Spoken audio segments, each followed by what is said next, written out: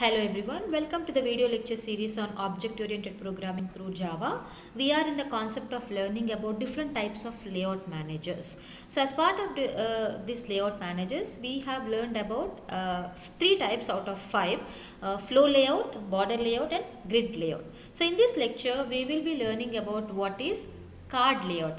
Uh, for your understanding, I'll tell you once again what is the use of these uh, layout managers.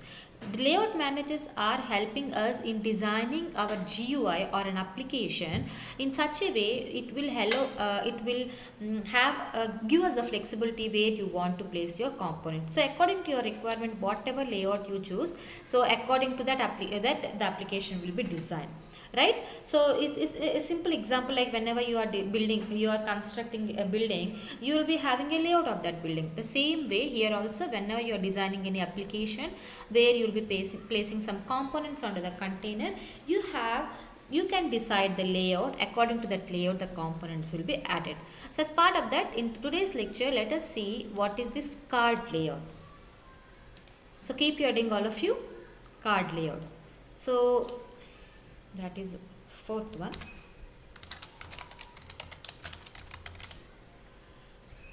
Now what is this card layout is normally uh, this card layout is nothing but uh, in this uh, it this resembles the uh, card game uh, you know all of you.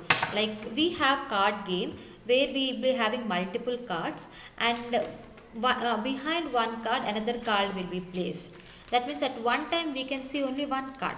Like this you can see here we'll be having one card. And behind uh, this one we'll be having one more card. And behind this one we'll be having one more card. Like this. So we'll be having multiple cards placed here. So the same technique will be followed here. And you can understand here at a particular time only one card will be visible. Isn't it or not So only one card will be visible like this. You can see. But uh, the cards which are behind this one is not visible to us. So that is the thing here. So to uh, the same thing will be applied in the card layout where a individual component like a single component will be maintained in a separate card and all are placed on each other like in this frame or in this uh, card one component will be added and in the second card another component will be added and in the third card another component will be added and in the fourth card another component will be added. So in on each card one component will be added and the only the first card whatever we have added that will be visible to our remaining all cards will be behind the front card. Right? So simply we can say this one as stack of cards so we can say this one as stack of cards.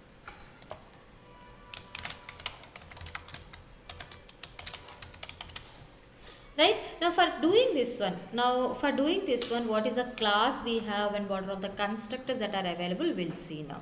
So the class that we are we have to perform this, uh, to have this card layout, the class name is card layout and we have two types of constructors. Uh, here L should be capital. And the constructor is we have two types of constructors. The first constructor is uh, without parameters. Okay?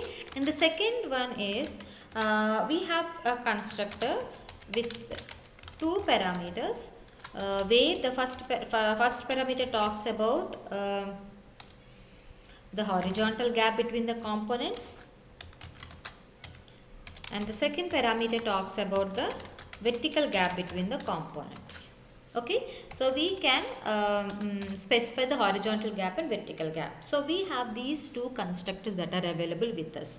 Now what happens is whenever you are using any one of these two uh, layouts then what happens? Each component will be added to uh, one card and a stack of cards will be created where each card will be having one component and whatever card you have added first that will be visible to you so to understand this one, let us take a simple example and then we have other options also. I'll tell you what are all the options uh, while uh, in, in the process of doing the example. Okay. So let us open the notepad first.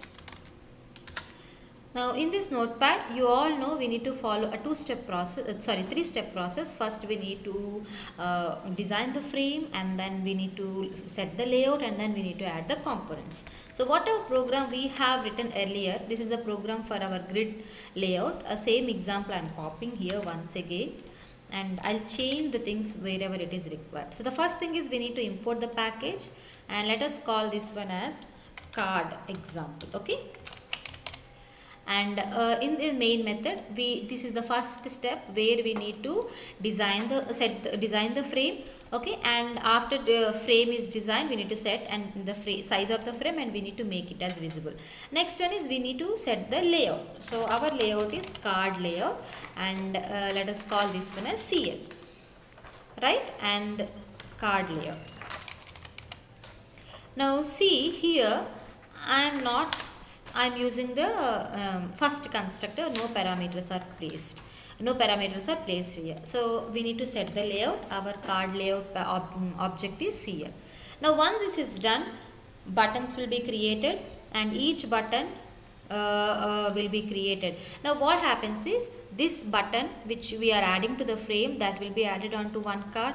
This will be added into the another card and this will be added into the another card like this now what happens here is whichever card is added first that will only visible to us. So to see this one let us run this program once and check what output we are getting. Okay. So now let us save this program first. Okay. Now let us run our program.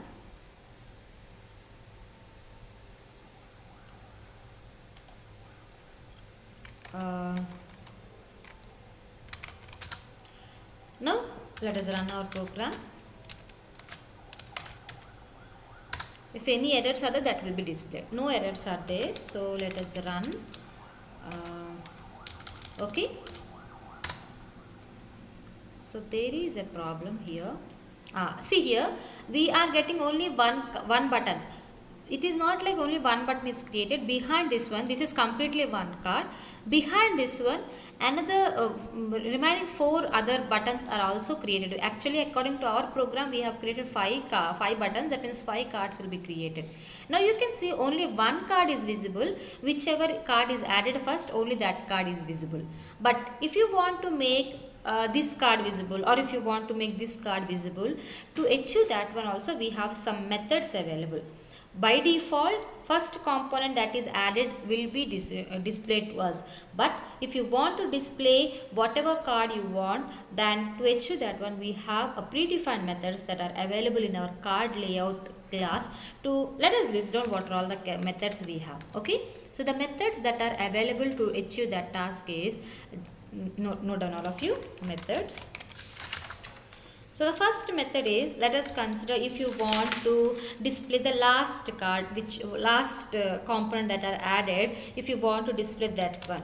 So to do to achieve that one we have a method called last method that should be called with an object. So see before that you need to create one card layout uh, okay object should be created for this class let us call this one as and you need to uh, let us call our frame object is here. Okay set layout of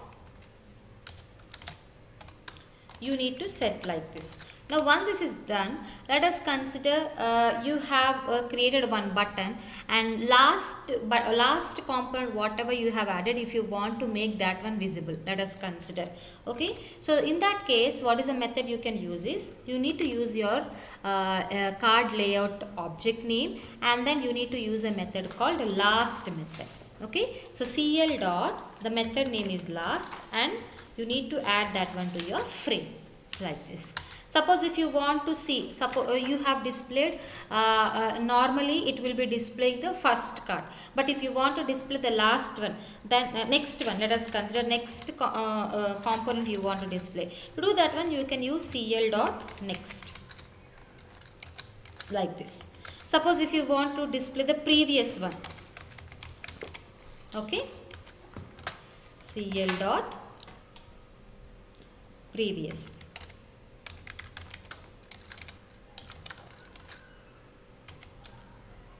right? But but we have an another option also where if you want to display specific card see last will display the last component that is added next will display the next component. Normally the first one will be displayed next will display the second one. Previous will display the previous component. But if you want to display the specific one uh, uh, before that let us see the example of the last one first and see what whether we are getting the last component that is added to our screen or not. Okay? So let us see. Mm.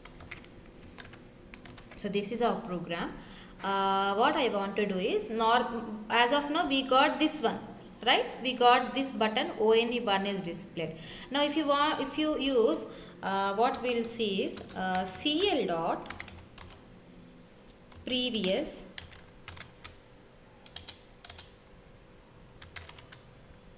of F. Let us consider let us see whether it is working or not okay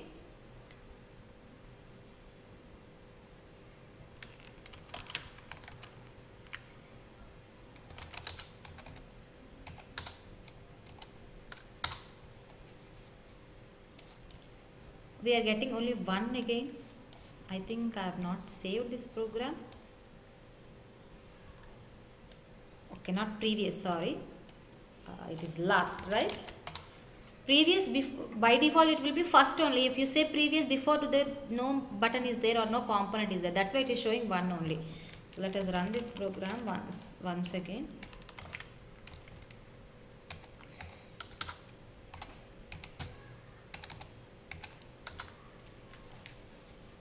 sorry.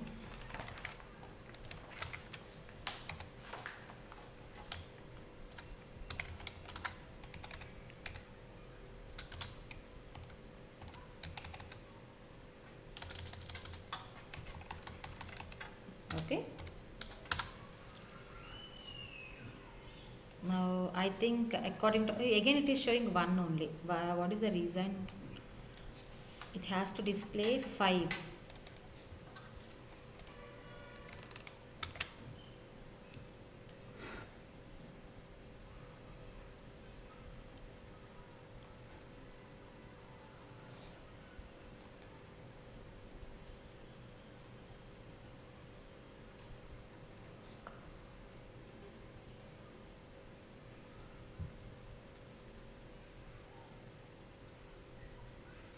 okay suppose if you see uh, okay. Now what I'll do is suppose uh, by default it will be showing the first one.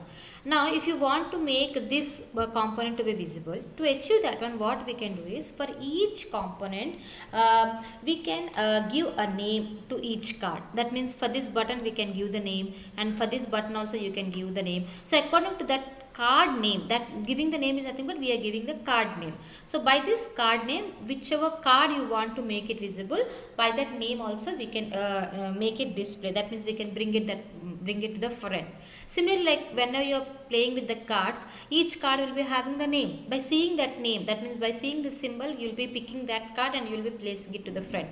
The similar fashion here also whichever card you want to bring to the first. This will be this is uh, taken as one card this is another card this is another card. So whichever card you want to bring front that should be brought with the help of the name assigned to that one. To achieve that one you can give a name to this one. Let us call the name for this one is 1 because we have given our buttons also 1 so this we I want to give as that as a 2 okay within the double quotes give the name to that components. Very simple.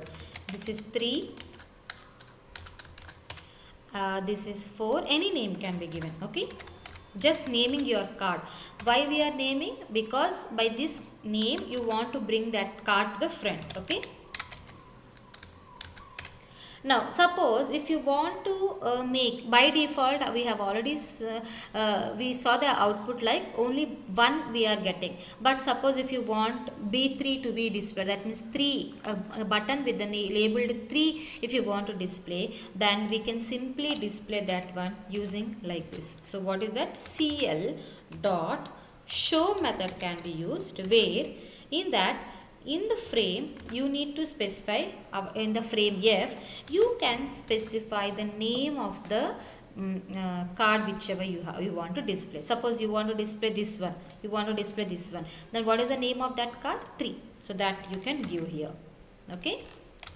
Understood all of you? So let us run this program and check whether we are getting the output or not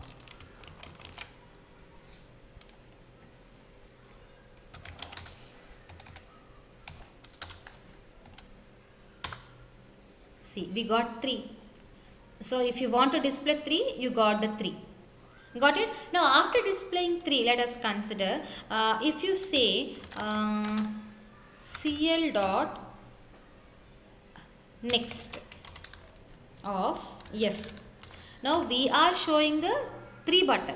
But instead of showing 3 button now you show f. What is next to 3 now the present focus is on 3 now what is next to 3 we have 4 that means we want to show the uh, f.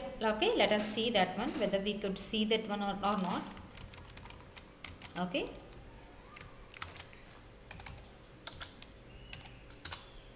So we got 4 did you see that one? Because we want to earlier we have set the frame to 3 but now we want to see the next frame whichever you want after 3 so we have set next. Suppose again i'll set uh, let, us write one more time. Or cl dot last let us see. Okay. What is the last component we have? The last component we have is 5 so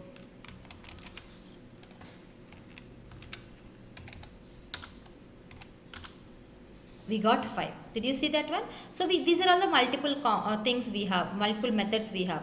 Show is used to uh, display the particular card whichever you want. But if you want to use the show method if you want to use the show method what you need to do we need to use cl dot show. What is the use of this one is whenever you are using the show method you need to specify the frame name and along with that you need to specify the name of the card also that is the thing. So we have these four methods last next previous and show methods. So we worked with i think uh, we worked with show next and last.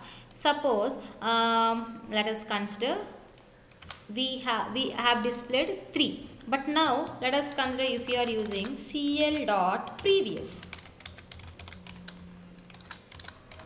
That means what is the previous to this 3 that is 2 that means it should display 2 that has to be highlighted. That has to become front that has to be brought front right? So let us run our program and see whether we are getting 2 or not. You can see 2 got all of you? So this is how. These are all the different methods we have to uh, display your respective card. Remember here in this approach of card layout uh, each component will be added to a particular each particular card. And if you are not mentioning uh, anything then a particular a first card whichever you are creating or a first component whichever you are creating that one will only be, will be displayed.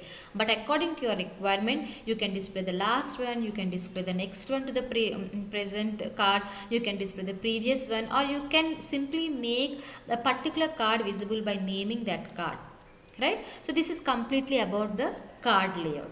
I hope you all are clear with this concept of card layout. In the next class, we'll see about our fifth type of layout that is grid bag layout. Let us all meet in our next lecture. Until then, thank you all of you.